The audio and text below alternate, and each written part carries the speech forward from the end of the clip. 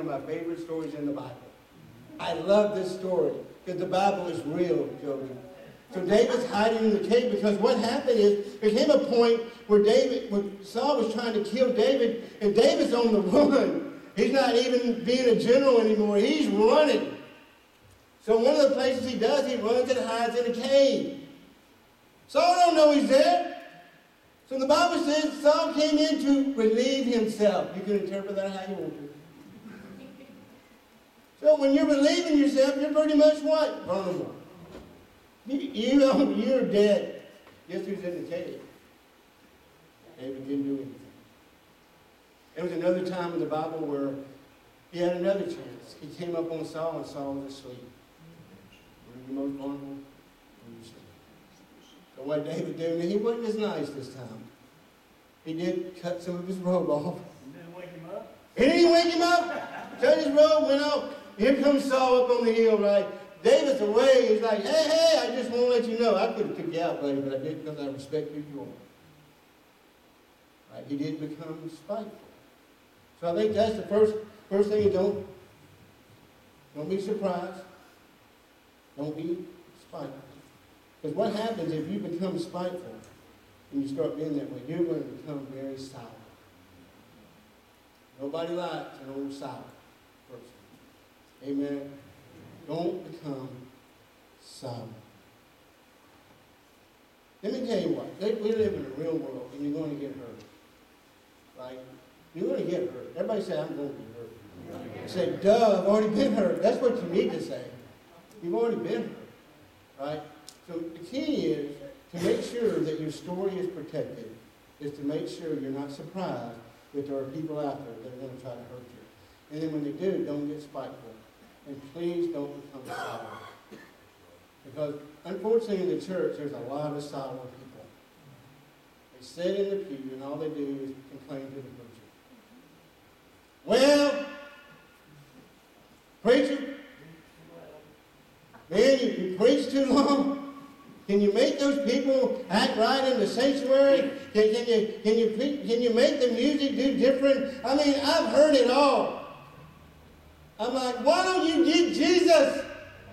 Hello, quit being so sour. But that's what happens to people over life. Now, I was talking about the younger Christians because the younger Christians, I see them a lot like David. They just don't care. They just want to love Jesus. But what happens to us, older Christians, and I'm talking to myself, what happens to us older Christians is we fall into a category that becomes very sour. For some reason, we just get into this mode of just doing things.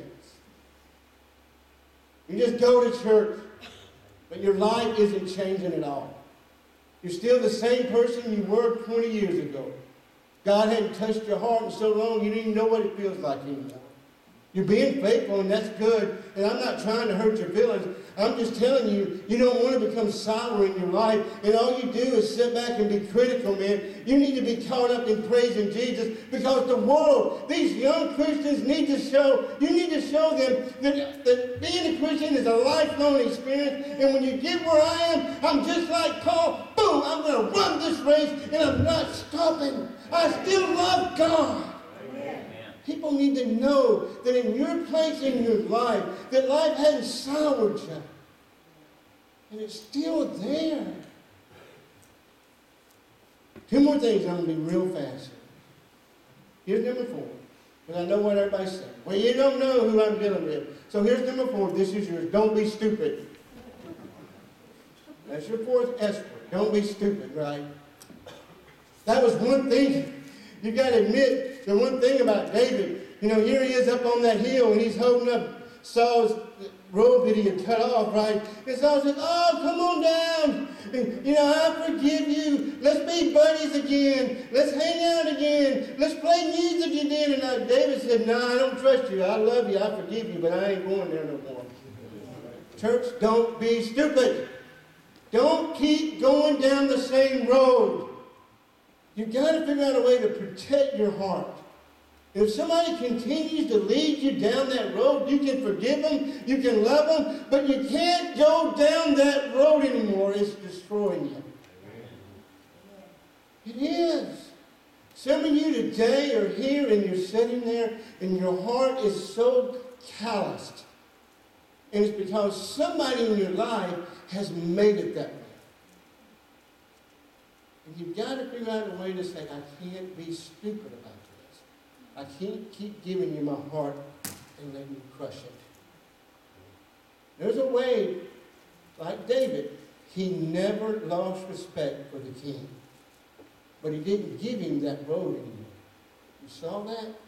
King, I could have killed you, but I didn't because I still respect you. I forgive you. But king, we're not playing the harp anymore. That's over. I can't go down that road anymore. Right? Last thing is this. Number five. Don't stop. And I know that's what most of you are saying about my sermon today. Don't stop. Don't stop. I think that's the key. Whatever you are this morning, I know there's some hurt people out there that have been hurt by hurt people, heartbreaking. Thank God brought you here today. Brought you here to talk to you.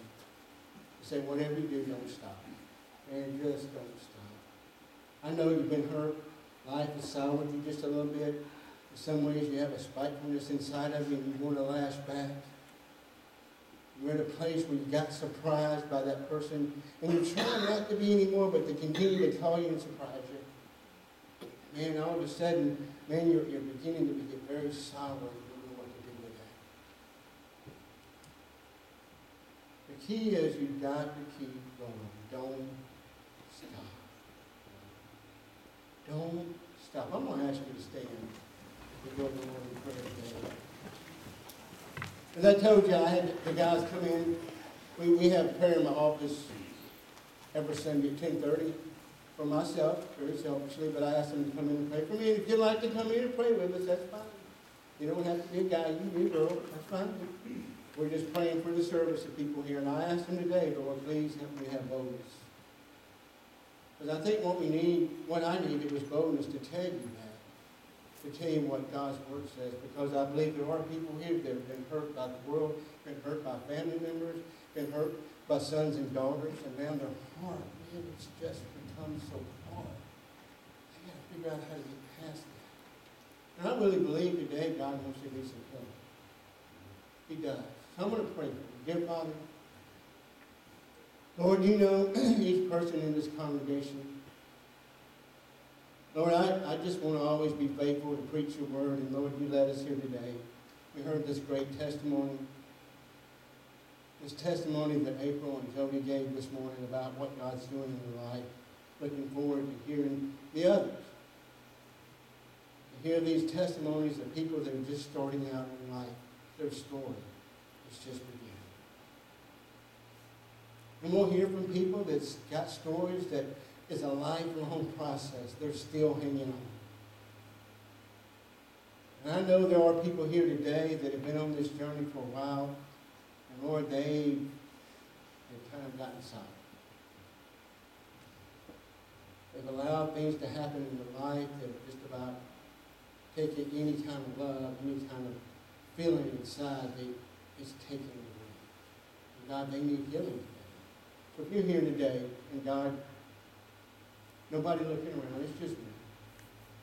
And maybe God needs to do some healing on your heart today. I want I'm going to ask you to raise your hand. Amen. I see that. See that hand? I see those hands. Thank you much. I see that. Maybe you're here today and you're just starting on this journey and you're you're excited. It seems like, man, these sharks, these buzzards are all of a sudden all around you.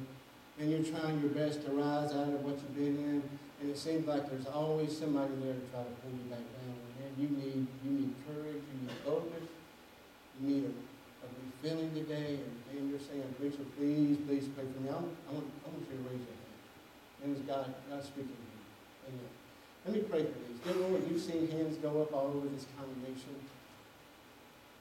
Lord, what a great story. What a great story of two men that, that are literally going in two different directions.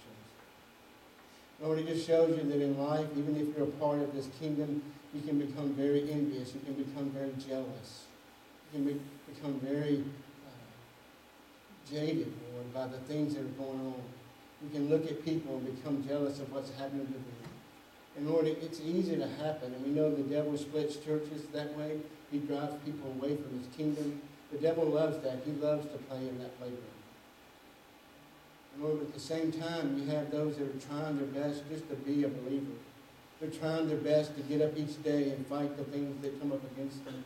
They're the ones that, that are going through these battles, and Lord, their heart continues to get broken. And Lord, they just don't know how they can keep going. Lord, you know who that is today, and we pray for them. We pray for each hand that has gone up. We, Lord, we pray for that healing. We pray, God, you touch them today. Lord, we pray you give them a renewed spirit today. Lord, they refine the things that they need to refine, Lord. That fire, Lord, just kind of went down to a flicker. Lord, may your spirit just blow in in a tremendous way. And Lord, all of a sudden they can see things differently because they're not seeing it from their perspective. Today they see it from your perspective. And Lord, your perspective is you love everybody and you're bringing people to where they need to be. So Lord, give them faith while they wait. Lord, for that one that's been broken so much today, Lord, I pray for a tremendous healing in their life. God, I pray your spirit would do its work today. Lord, I know without a doubt, Lord, you touched lives today, and you touched some people, and I thank you for that. Lord, we pray all these things in the name of Jesus. Amen. I need to do two things, two things real quick. Have, the second thing is we've got somebody that's going to join the church today. Amen? Right?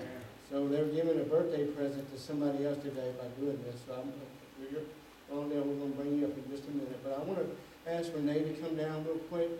Uh, Tracy Moore has asked Renee to come stand in her place. If you're friends with her on Facebook, you know what's going on. So we're gonna ask some of you to come down. We won't say what it is, but she wants to stand, she wants Renee to stand for her on behalf of her son Taylor. So if, if you can come down and you can be right there where you're at, if you don't feel comfortable, just reach out because we need to pray. They, they need prayer big.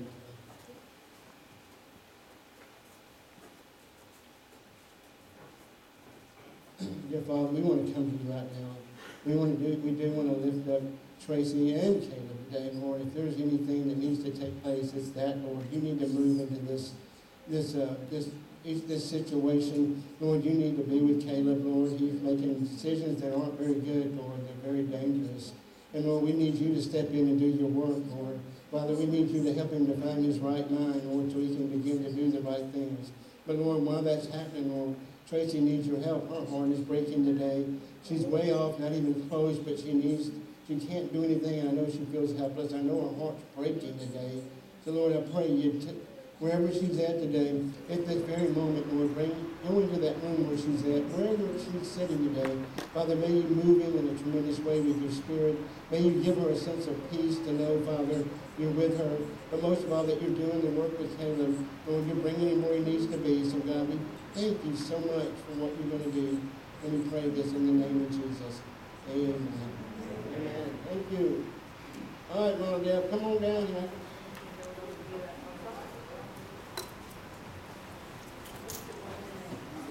Hey, I know most of y'all thought this guy was already with us, right? But let me tell you, I appreciate this guy. He, uh, he is a, God did good when he sent us him, right? Let's go for him. You don't know how much help they are. They do a great job. And we're excited uh, to have Rondell come today and, and join the church. He said he's doing this for, for as a birthday gift to Gary Paul. so I think that's kind of neat. All right, so this is the Lord's Supper. Dearly beloved, the precious and uh, blessings uh, which we uh, have in association together in the Church of Jesus Christ are very sacred and precious. There is in it such hallowed fellowship as cannot otherwise be known. There is in it such help, uh, helpfulness and brotherly watch, care, and counsel as can be only found in the church. There is the godly care of pastor with the teachings of the word. There's the helpful inspiration of social worship, which we just experienced. There is the corporation and service, accomplishing that which it cannot otherwise be done. The doctrines on which we stand uh, rest, or rest are essential to the Christian experience, and here they are. We believe in God the Father, Son, and Holy Spirit, which especially emphasize the Holy Spirit, the deity of Jesus Christ, and the personality of the Holy Spirit. We believe that man is born in sin, that he needs the work of forgiveness, through, through Christ and the new birth by the Holy Spirit. Uh, after that, there's a deeper work of the heart, the heart cleansing or entire sanctification through the filling of the Holy Spirit, and that each of these works of grace the Holy Spirit gives witness. We believe the Lord will return, the dead shall be raised, and then after that will come the final judgment, its rewards, and its punishment. You heartily believe these truths? If so, answer, I do. Do you acknowledge Jesus Christ as your personal Savior? And do you realize that He saves you now? If so, say, I do. All right, well, I welcome you. Well, we do want to thank you so much for sending Rondell. Thank you so much for his family. Lord, uh, when you sent, you sent uh, Lou here, Lord, and her family started coming, it was just a great, great thing for our church. Lord, they are just workers, they come in, they do all these things that they do. When we know Rondell comes up, helps clean the church, he's back there cooking some days, or whatever you ask him to do, he just steps up. He's like a David, Lord. He just does it, doesn't look back, and I thank you so much for that. So Lord, I pray you help us to be the church that he needs, Lord, that he can lean into when he needs it. Lord, as he walks through some of the things that he'll walk through and what he's already walked through. Lord, we pray for blessings in his life, and we pray this in Jesus' name. Amen. Yes, ma'am. Prayer request for the Woodall family. Oh, yeah. We need to pray for. Sean Woodall, his brother. His brother, we need to pray. Let me pray for him. Dear Father, Lord, uh, we do pray for the Woodall family. We know they're going through a tremendous, tremendous loss right now. Lord, I know there's a lot of confusion happening, a lot of questions, a lot of whys, why this happen? Lord, they need your help. We lift up Sean to you. Lord, help him to to be the kind of brother that he needs to be to his brother as they walk through this valley. Lord, may you speak to them. And we know that you're a God that can bring peace in a situation like this. And so you can do that for them. We pray this in Jesus' name. Amen. Amen.